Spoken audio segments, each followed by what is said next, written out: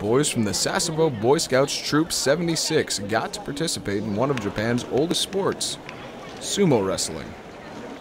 The scouts got to test their strength and learn more about Japanese culture, all while having fun.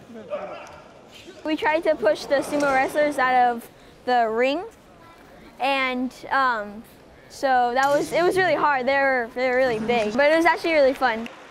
After several rounds of wrestling, the Boy Scouts got back up on stage to thank the sumo wrestlers for sharing their sport and heritage with them.